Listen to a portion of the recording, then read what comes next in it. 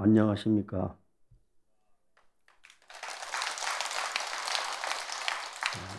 제가 조계사 법상에 올라온 지가 오늘이 세 번째입니다.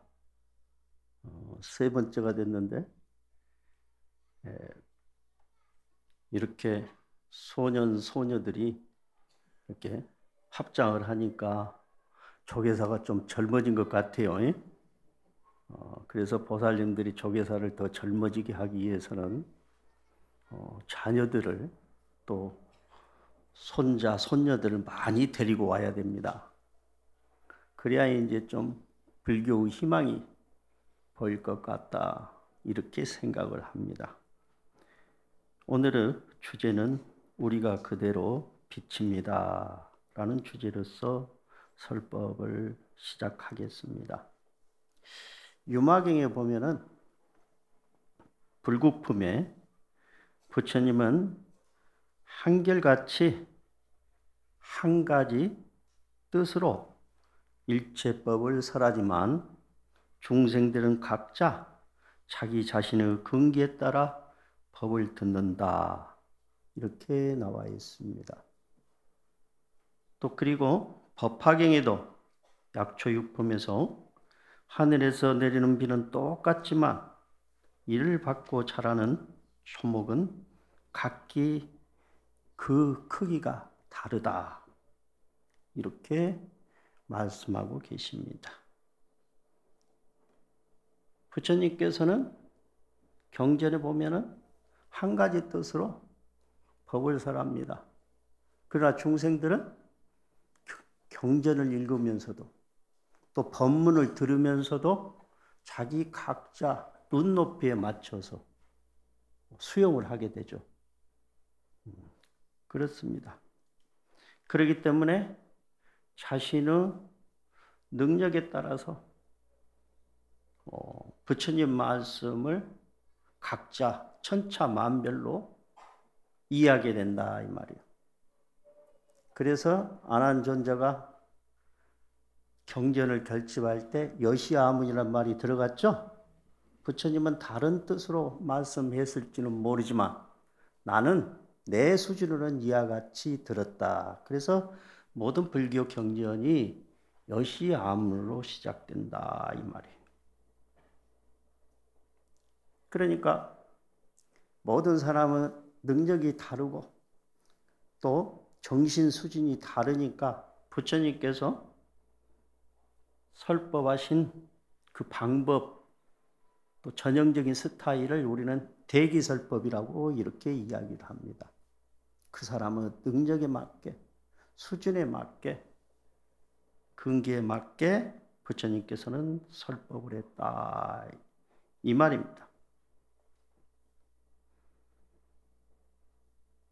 국어 시간에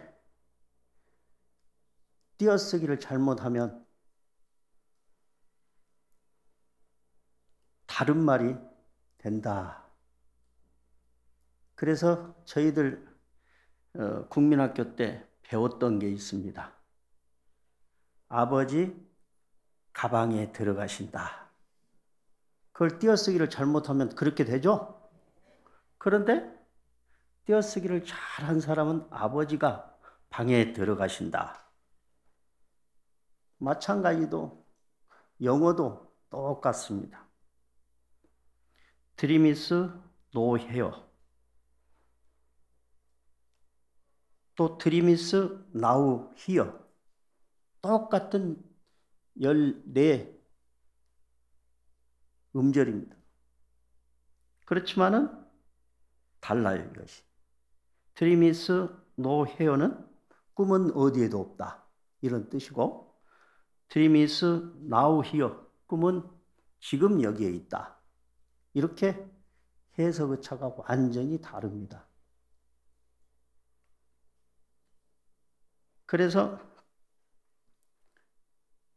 이 띄어쓰기를 형과 동생이 잘못해서 드리미스 노 헤어라고 이렇게 딱 고쳐가지고 방 안에 액자에 걸어놨어 형이. 그리고 이제 동생은 Dream is now here라고 이렇게 써가지고 액자를 걸어놨어요. 전자는 뭐냐? 꿈은 어디에도 없다 이 말이에요. 후자는 꿈은 어, 지금 여기에 있다 이렇게 써놨어요. 그래서 꿈은 없다고 해석한 형은 거지가 되었고 꿈은 지금 여기 있다라고 해석한 동생은 교수가 되었다. 아. 그래서 우리가 어떻게 해석하느냐에 따라서 자기의 운명이 결정이 되는 것입니다. 여러분, 말이 씨가 된다는 말 많이 들었죠? 그렇습니다. 이번에 저희 금산사 전 주지 스님께서 원행 스님께서 36대 총무원장이 되셨죠? 어, 36대. 그래서 오늘은 육자로 좀 시작해 보겠습니다. 케이치프 노이드라고 하는 심리학자는 인간관계가 단절된 사람의 마음에는 여섯 가지 감옥이 존재한다. 라고 말했습니다. 여섯 가지 감옥은 첫째, 자기 도치의 감옥이다. 말이죠. 자기 도치의 감옥에 완전히 감금당한 사람들은 객관적인 눈을 잃게 됩니다. 그리고 항상 공주병, 왕자, 왕자병에 걸리게 되는 거예요. 불교에서 말하면 이런 분들을 뭐라고 하느냐? 증상만자라고 합니다. 깨달음을 얻지 못했는데도 얻었다고 생각하는 사람들. 증상만자라고 생각해요. 절에 나오는 것은 공주병, 왕자병 이런 것을 어떻게 해요? 버리기 위해서 오른 거예요. 그렇죠? 그런데 왔는데 절에서 일이나 시키고 봉사나 하라고 그러니까 나는 집에서 손발 하나 끄떡하지 않는데 절에 오니까 어? 어 초발심 보살이라 해서 이것저것 시킨다. 나 가지 않겠다. 이렇게 생각하면 공주병에 걸린 사람들이 또 절에 가면 스님들이 좋은 말만 해줘야 되는데 어쩔 때는 또 화도 내고 그러니까 그냥 절에 안 나오고 이제 많은 사람들. 그런데 조계사에서는 그런 사람이 한 명도 없다고 그래요. 그래서 다행스럽다. 어? 이렇게 생각을 했습니다. 두 번째는 비판의 감옥이다. 항상 다른 사람의 단점만 보고 비판하기를 좋아하기 때문에 친구가 한 사람도 없습니다. 음, 비판의 감옥. 불설 무희망경에도 어리석은 사람은 자신을 돌아보지 않고 나무 허물만 찾아다닌다. 이렇게 예, 기술되어 있습니다. 자기 자신을 돌아보기 위해서 그리고 자신의 업장을 참여하기 위해서 사찰에 와서 백팔배도 하고 기도도 하는데 남의 단점만을 또 남의 허물만을 그렇게 보고 지적을 하면 그것은 본인의 수행에 조금도 도움이 안 돼요. 그럴 시간 있으면 어떻게 해야 돼요? 경전 한 글자 더 읽고, 어? 절 한 번 더 해야 돼요. 여기 안에 계신 분들은 다 그렇다고 들었어요. 그런데 몇 달 전에 밖에 있는 분들은 참, 어? 나무 허물만 이야기하고 있더라고. 좀 불교가 달라져야 돼요. 그렇죠? 그래요? 안 그래요? 그렇다고 하면 박수를 한번 쳐봐요.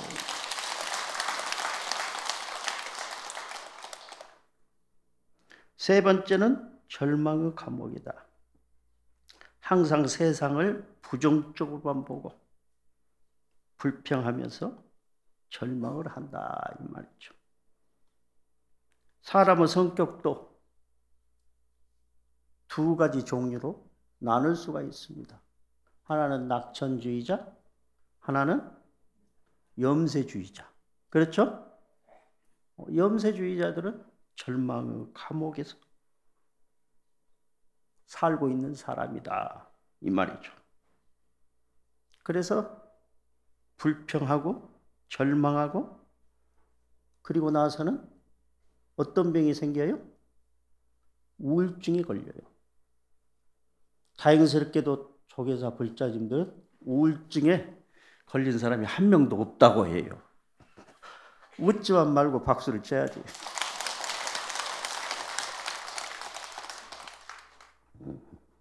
네 번째는 과거 지향의 감옥입니다. 과거를 추억하고 과거가 제일 좋았다고 생각하고 현재를 낭비를 하는 사람을 말합니다. 과거에 사는 사람들은 주로 노인들입니다. 추억을 그리워하고 그리고 그것이 가장 소중하다고 생각을 합니다. 반대로 젊은이들은 미래를 향해서 역동적으로 자기 삶을 영위하는 것입니다. 과거에 연연하다 보면 현재를 제대로 살 수가 없고 또 미래 지향형의 인간이 되질 못합니다. 이 중에도 그러신 분들 있어요. 예? 어, 어떤 사람들은 이런 말을 해요. 스님, 첫사랑이 그립습니다. 그래요. 지금 현재 살고 있는 사람은 그럼 뭐요? 그렇죠? 현재 살고 있는 사람이 더 좋아요. 예? 그래서 더 좋다고 생각을 했기 때문에 첫사랑을 여러분 버린 거 아니에요. 그렇죠? 오, 아이고, 대답을 잘 하시네. 참 그래요. 현재 살고 있는 사람, 현재 여러분들이 하고 있는 일, 현재의 시간이 가장 중요하다고 토스토이는 역설을 했습니다. 그래서 여러분들은 과거 지향형의 감옥에서 벗어나야 됩니다. 다섯 번째는 선망의 감옥입니다. 나의 능력, 나의 장점, 나의 행복, 이것은 소중하지 않고, 남의 능력과 장점, 남의 행복이 더 커 보입니다. 남을 부러워하면서 살아가는 거예요. 그럴 필요 없어요. 에?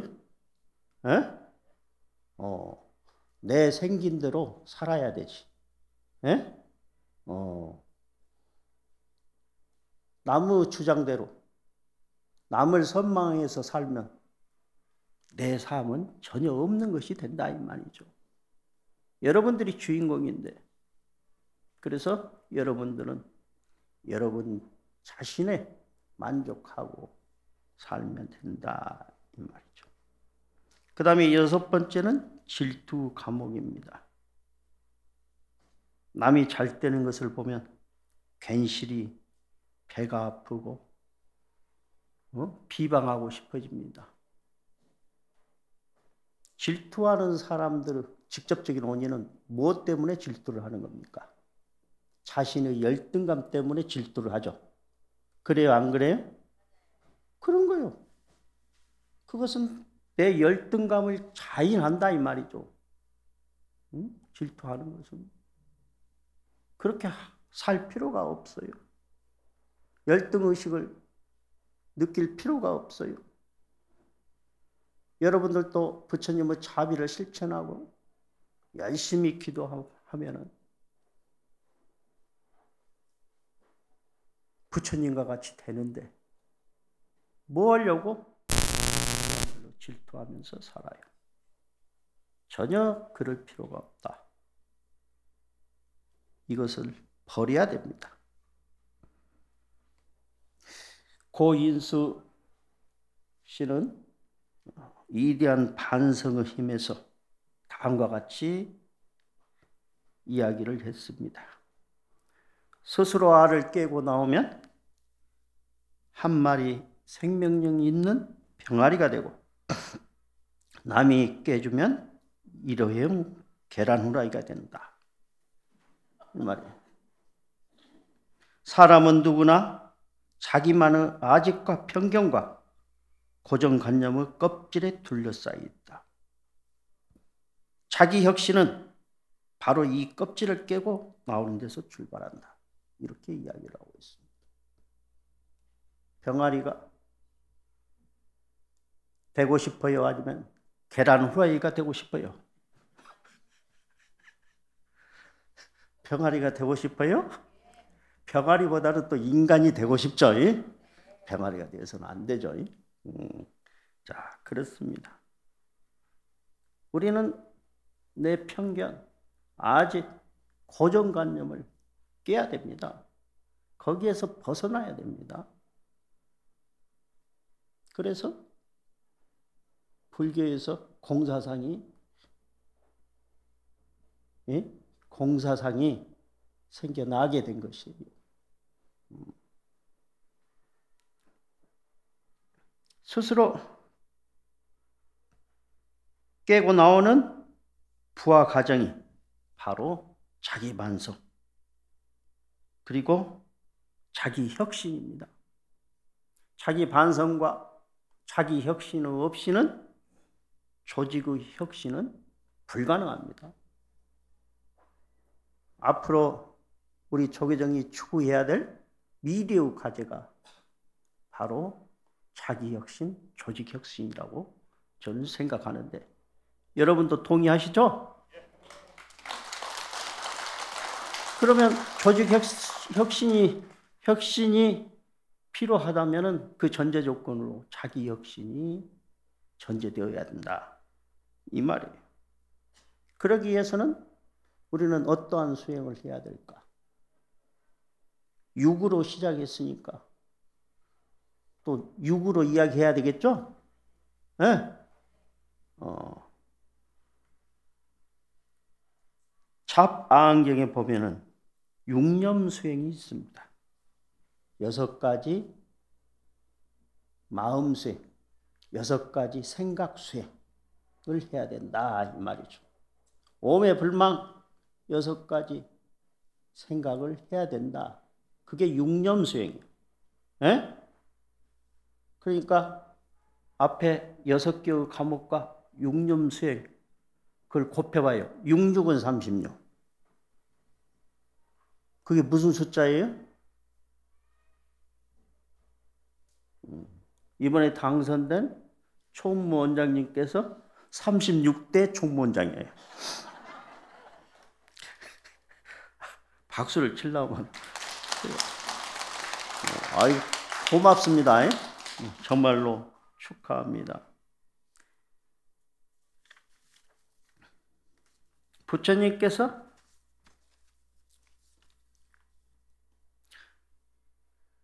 사이성 기원종사에 계실 때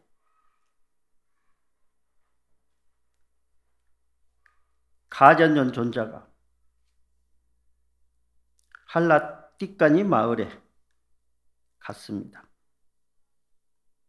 그 마을에는 한 장자가 병이 들어 있었어요. 그래서 문병을 갔습니다. 그때 이제 장자는 나는 불법 승과 그리고 내가 받은 그 개에 대해서 나는 항상 깨끗한 믿음을, 견고한 믿음을 갖고 있습니다. 이렇게 이야기를 합니다. 불법성 개. 이게 바로 뭐냐? 신도들이 수행해야 될 그러한 덕목이에요. 그리고 개입니다. 불법성은 삼기의 개죠? 그렇죠? 그리고 제가 신자들이 수지해야 될 5개 있죠? 삼기가 5개. 또 그리고 또 보살 어? 보살들이 수지해야 될 10중 대계와 48경계 이렇게 나와 있는 것이에요. 그래서 이제 가전녀는 사 불계정과 그리고 네 가지의 신영, 신영, 호시를 호시의 공덕을 생각하는 것. 그것이 신념이라고 그래요. 음, 여러분들은 항상 오면 뭘 해야 된다? 보시를 해야 된다고 생각하고 있어요? 안 해요? 안 하고 있어요? 하고 있어요. 하고 있다. 그리고 보시를 행하고 계율을 잘 지키면은 다음 생에 어느 곳에 태어납니까? 천상에 태어나죠? 그렇습니다. 사불계정과 신념 그리고 천념을 닦아야 된다 이 말이죠. 항상 생각하면은 닦게 되는 거예요. 부처님을 생각하게 되면 염불을 하게 되면 어? 그것이 바로 수행하는 것이에요. 그렇다 이 말이죠. 이렇게 해서 6가, 6가지 생각을 닦아야 된다. 이렇게 제시를 했던 것이에요.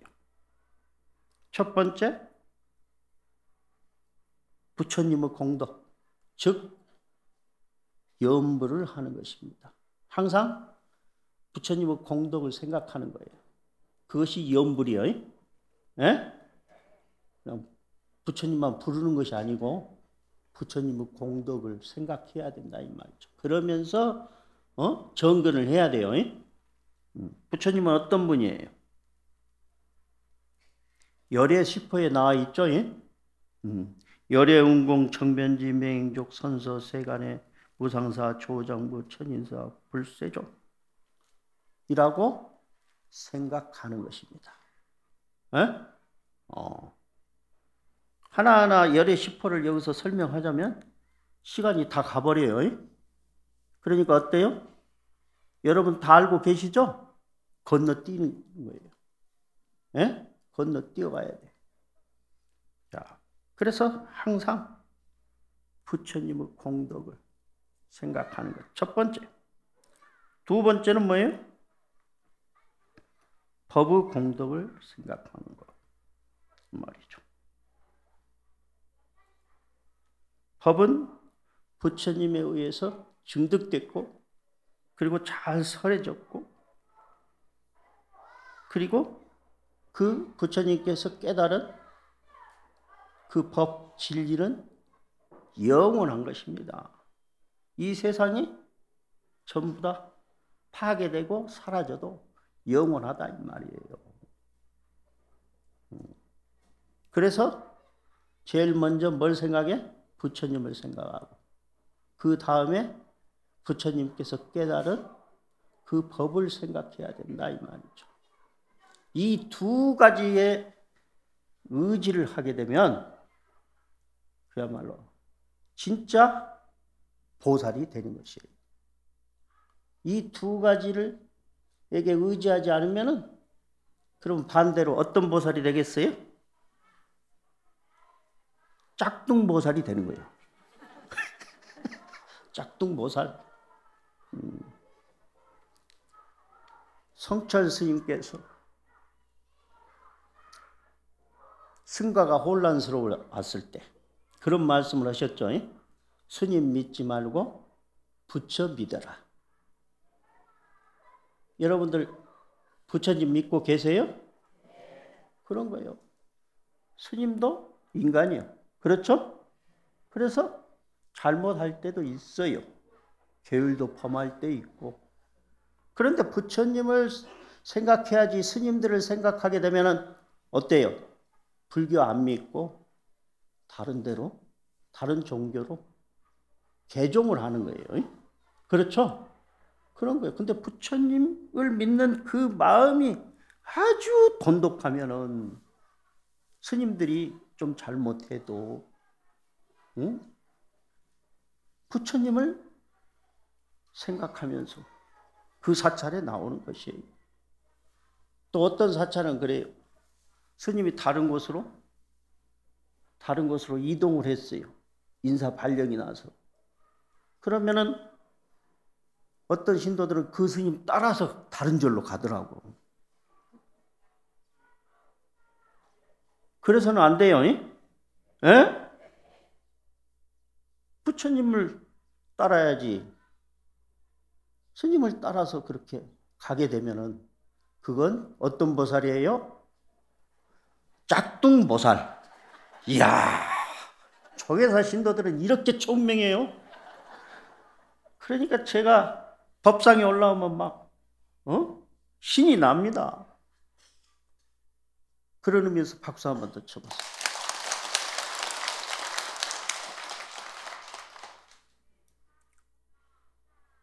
두 번째는 그 법의 공덕을 생각해야 돼.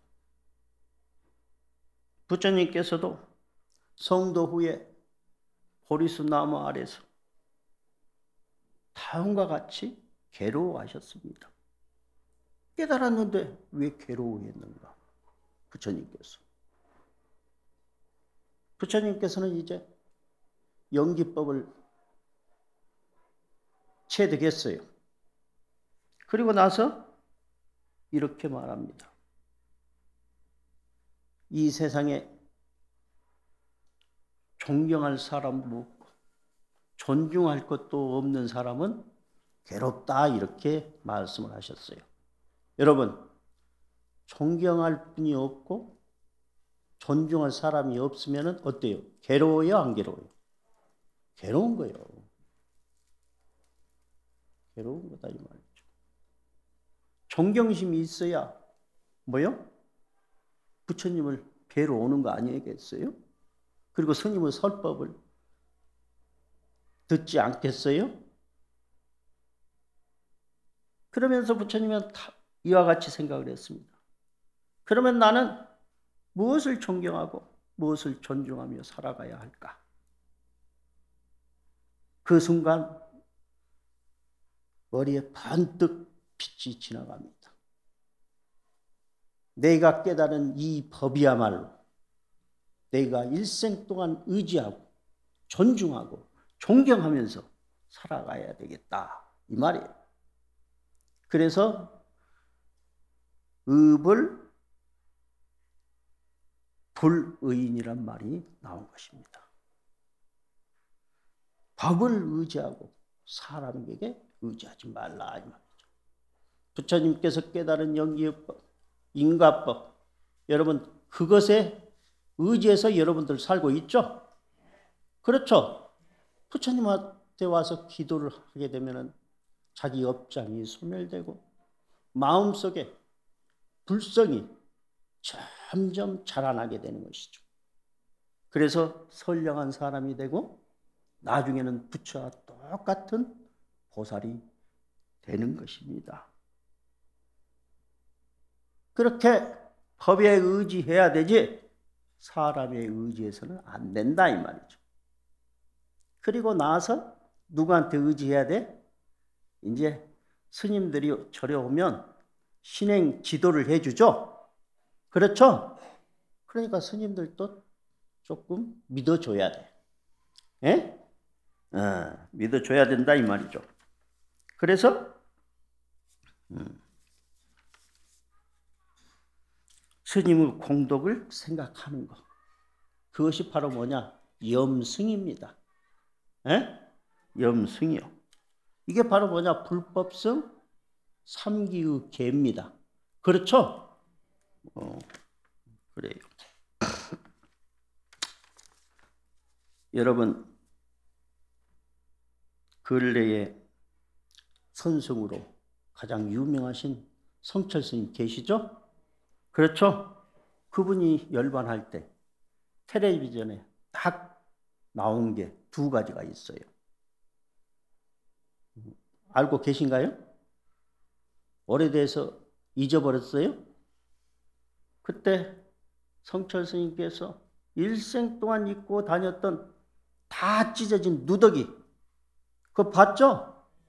그리고 고무신, 검정 고무신 그렇죠? 성철 스님 열반하시고 그렇게 보여줬어요. 그러니까 성철 스님 열반하시고 다 떨어진 누더기 안 입고 고무신 안 신고 다니는 사람들은 스님들은 뭐요? 다 땡중으로 봤어요. 아니 얘 웃어요. 그래서 스님들이 너도 나도 조계사 앞에 승복집에서 누더기 사고 신발 가게에서 검정 고무신 한 컬레 샀어요. 예? 그래서 그 누더기를 입고 검정 고무신을 신고 이 장안을 할보했어요. 그러면 신도들이 깜빡 죽어요. 성철 스님 같은 분, 어? 절을 했어요. 저도 그때 고무신 한 컬레, 누더기 한 벌 장만했어요. 예? 어, 그때 여기 승복집이 전부 다 누더기가 절판됐어요. 어. 그래서 오늘 또 누더기를 입고 검정 고무신을 신고 올려다가 내가 깜빡 해가지고 이렇게 아주 좋은 옷을 입고 왔다 이 말이에요. 그러니까 저를 안더라고. 조개서 앞으로 딱 지나오는데 야, 참 사람들 눈들은 역시 달라요. 네. 그래서 스님들을 생각해야 됩니다. 그래서 옛날에는요, 왕가에서 음, 그 가문에서 스님이 한 번 배출되면은 구족이 편안하다고, 3대가 편안하다. 그렇게 해서 왕가에서 스님들을 많이 배출을 했습니다. 보살님들도 요즘 승려 숫자가 감소하고 있는데 아들, 딸 하나씩 더 낳아서 절에다 바치면 얼마나 좋겠어요. 예? 아니, 전부 다 인상을 쓰네? 그러면 안 됩니다. 예? 어, 앞으로 스님들이 존경받는 시대, 그 시대를 누가 만들어 가야 되느냐? 신도들이 만들어 가야 된다 이 말이죠. 법만경에는 이와 같이 나와 있습니다.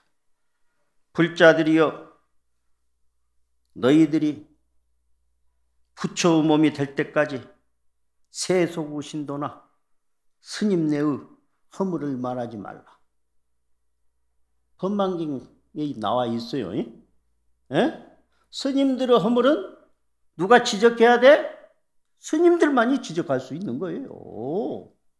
일반 신도들이 스님들의 허물을 지적하면 그건 완전히 불교 질서가 무너진다 이 말이죠. 또 어떻게 나와 있느냐? 다른 사람들이 스님 내의 허물을 말하여도 마치 백천자루 창으로 찔리는 것과 같이 아픔을 느껴야 하거늘 하물며 불자가 제 스스로 스님의 허물을 말해서야 되겠느냐 이렇게 나와 있어요. 스님의 허물을 말하려고 그러면 머리 깎고 승려가 돼서 스님의 허물을 말해야 돼요. 그러는 것이에요. 여러분 살다가 스님들이 배기 싫으면 전라도 말로 배기 싫으면 어떻게 해야 돼요? 에? 공양을 안 올리면 됩니다 스님한테. 에? 어? 어 짝둥이네 땡촌에 말할 필요 없이 공양을 안 올리면 돼요. 그 불교 경전에 나와 있어요. 승단이 분쟁할 때 코잔배우, 어? 코잔배에 있는 신도들이 공양을 안 올린 거예요. 그렇죠? 예. 네. 스님들이 보기 싫으면 공양을 안 올리면 돼. 그런 거예요. 또 그 스님이 보기 싫으면 어떻게 해야 돼요? 악담을 해서는 안 되고 다른 절로 가면 돼. 예? 그런 거요. 그래도 또 거기서 스님이 보기 싫으면은 어떻게 해야 돼요? 불교를 안 믿어도 돼. 예? 그런데 어떤 사람은 또 개종까지 하더라고. 그래서는 안 된다 이 말이죠. 어, 그런 거요. 그래서 그와 같이 규정을 해놨어요. 그래서 스님들은 우리 자신들의 허물을 자자때 스님들하고 한꺼번에 모여서 자기의 잘못을 참여할 때 하는 행사가 자자입니다. 자자 때, 또 포살 때 자기의 제업을 뭐요? 참여하는 겁니다. 그래야 되지. 그걸 신도들이 지적하면은 어떻게 돼야 돼? 지적하면은 스님의 스승이 누구요? 신도가 되는 거예요. 그렇게 되는 거예요. 그래서는 안 된다 이 말이죠. 내 말이 좀 일리가 있어요? 일리가 있으면 그래서 조계사 보살님들은 스님들의 허물을 이야기 않는다고 소문이 나 있어. 어, 그래. 그러니까 얼마나 신심이 돈독한 분들만 모여 있겠소. 그렇죠? 절에 다니면서 산전수전 다 겪었죠? 그래도 여러분들 묵묵히 와서 기도하고 스님들한테 법문 듣습니다. 그러니까 조계사 신도들은 어때요? 신도 중에서 인류 신도요.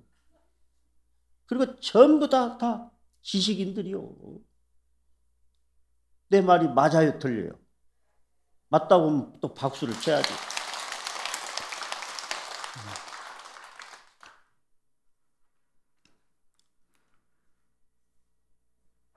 그러면은 네 번째 불법 승 스님을 생각하는 공덕. 네 번째는 계율을 계율의 공덕을 생각하시오. 계율의 공덕이 뭐예요? 염계. 염계 말이죠. 여러분들이 신도 5개만 잘 지켜도 행복을 또 기쁨을 얻을 수가 있는 것이. 계율을 잘 지키면 행복하고 계율을 어기면 불행하게 됩니다. 사회에서도 법을 어기면 불행하죠. 그렇죠? 또 그리고 법을 잘 지키면 그냥 안심되고 어? 행복한 것입니다. 그렇기 때문에 항상 계율을 생각해야 된다. 이 말이에요. 그 다음에는 염시, 보시를 생각해야 된다. 이 말이죠. 자, 그러면은 보시를 행하고 계율을 잘 지키면은 어떻게 돼요? 다음 생에 어디에 태어나요? 천상에 태어난다고 그랬죠? 바로 그거예요. 부처님의 석가모니 부처님의 전형적인 설법 스타일이 시론, 개론, 생천론. 오시를 잘하고 오시를 행하고 겨울, 겨울을 잘 준수하면은 다음 생에는 어디에 태어나요? 천상에 태어나는 거예요. 여러분 천상에 태어나고 싶어요? 지옥에 태어나고 싶어요. 천상에 태어나고 싶으니까 여러분들이 어떻게 해요? 저리 와서 보시를 하고 그리고 자신이 받은 그 계율을 지키는 것이에요. 천상에 태어난 것보다 더 좋은 행복이 어디가 있겠어? 그래요? 안 그래요? 안 그래요? 어. 이 보호실을 향하고 계율만 지켜도 현재 여러분들은 행복 하게 사는 것이에요. 가장 행복하게 사는 것이 바로 보호실을 향하고 계율을 지키면 현재 이 삶이 가장 행복한 것이다. 이 말이에요. 그래서 내 생의 가보를 생각하는 것.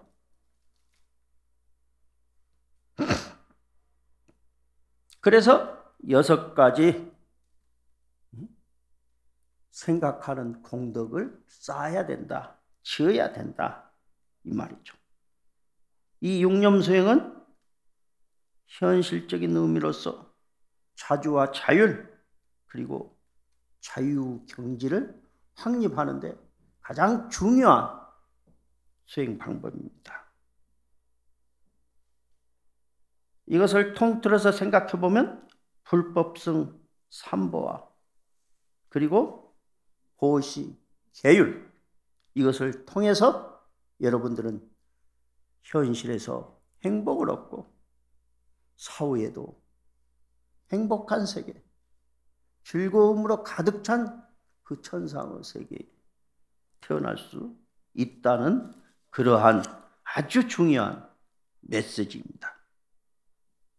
그래서 이러한 사불개정은 불교인들에게 지극히 상식적인 교리이다. 이 말이에요. 그래서 사불개정을 닫고 불법성 선보에 기하고 또 그리고 계율을 지키고 준수하고 또 그리고 보시를 행하면 그 가보로 천상에 태어나는 이런 육념수행, 육념수행을 하게 되면 여러분들은 이 육신이 완전히 불보살님과 같은 그 지혜를 갖추게 되는 것이에요. 그러니까 마음뿐만 아니라 몸도 그야말로 평안해지고 즐겁게 변하는 것입니다. 그래서 해바지라 딴트라에서는 다음과 같이 기술되어 있습니다. 이 육체는 고통의 근원이지만 그러나 동시에 법렬의 온천이다. 어리석은 사람에게는 이 육체가 고뇌의 덩어리이지만 지혜로운 사람에게 있어서 이 육체는 법렬의 온천이 된다라고 이야기를 했습니다. 여러분들이 이 육념 수행만 잘해도 어떻게 돼요? 이 육체가 바로 기쁨 덩어리로 바뀐다 이 말이죠. 법년의 근원이 된다 이 말이죠. 즉 말해서 법신이 된다 이 말이죠. 진리의 몸이 된다 이 말이에요. 그러니 얼마나 어? 얼마나 기쁘겠어요. 부처님께서 열반하실 때 다음과 같은 말씀을 하셨어요. 다 아시죠? 네. 자등명, 법등명, 이계 이사, 불방일. 스스로 등불로 삼고 법을 등불로 삼고 개로서 스승을 삼아 부지런히 정진하라. 이 말씀이에요. 이게 바로 서가모니 부처님의 마지막 유거입니다.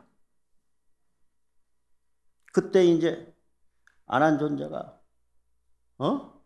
슬퍼서 눈물을 흘렸어요. 그때 부처님께서 안하나 슬퍼하지 말라. 자등명 법등명하고 개로서 스승을 삼고 부지런히 정진하라. 이렇게 이야기를 했어요. 그런데 아나는 왜 울었을까요? 부처님이 떠나시니까 열반하시니까 슬퍼서도 울겠지만은 어때요? 이제 살아생전에 자신을 이안해주고 가르쳐줄 스승이 없지 않겠어요? 그렇죠? 그러니까 스승이 더 가르쳐줘야 자기가 깨달음을 얻는데 그렇지 못하고 떠나니까 얼마나 슬퍼요. 여러분들도 여러분 부모님이 이 세상을 떠나시면은 슬퍼요, 기뻐요? 예? 슬프지 기쁘다 할 사람은 없잖아. 그렇죠? 왜 슬플까요? 떠나시니까 슬퍼하는 것도 있지만 더 이상 여러분 말을 들어줄 사람이 없죠. 그렇죠? 그리고 여러분들을 이해해 줄 분, 분이 없죠. 그래서 울기도 하는 거예요. 아란도 마찬가지입니다. 부처님이 더 있었더라면 더 좋은 말씀을 듣고 가르침을 듣고 설법을 듣고 깨달음에 도달할 수 있지만은 부처님께서 열반하시면 이제 어떻게 깨달음에 도달할 수 있을까? 그때 부처님께서 자등명 법등명 하라 말이죠. 네가 바로 등불이요. 법이 바로 등불이다 이 말이죠. 그래서 아란존자는 어떻게 했어요? 부처님께서 열반하시고 꼬박 밤낮 하루에 걸쳐서 선정 수행에 들어갔어요. 그래서 스스로 깨달아서 아란이 된 것이에요. 그러니까 깨달음이라는 거 한다는 것은 우리 마음속에 불성이 있기 때문에 그 불성을 갈고 닦으면 어떻게 돼요? 깨달아지는 것이에요. 여러분, 하나의 금강석이 있습니다.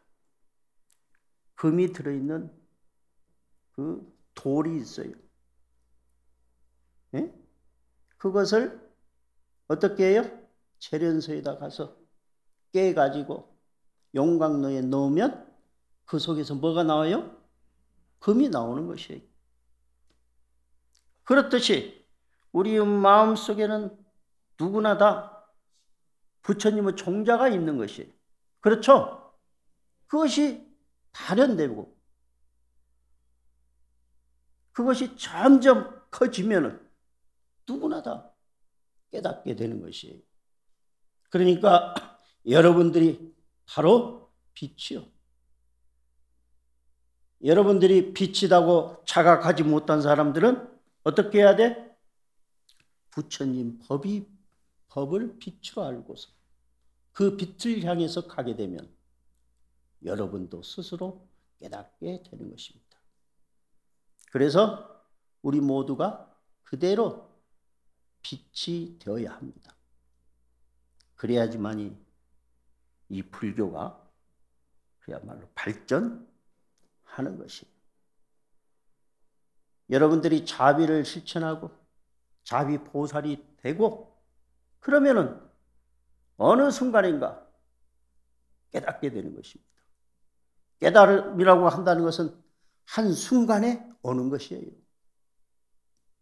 물이 99도로 이렇게 진행된다가 한순간에 100도가 되었을 때 끓은 것처럼 여러분들도 부단히 6년 수행을 하게 되면 누구나 빛이 되는 것입니다. 예, 여러분들께서 너무 그 열심히 경청해 주시고 또 그리고 금산사 전 주지 스님이 36대 총무원장이 되었기 때문에 오늘은 빨리 끝내겠습니다. 감사합니다.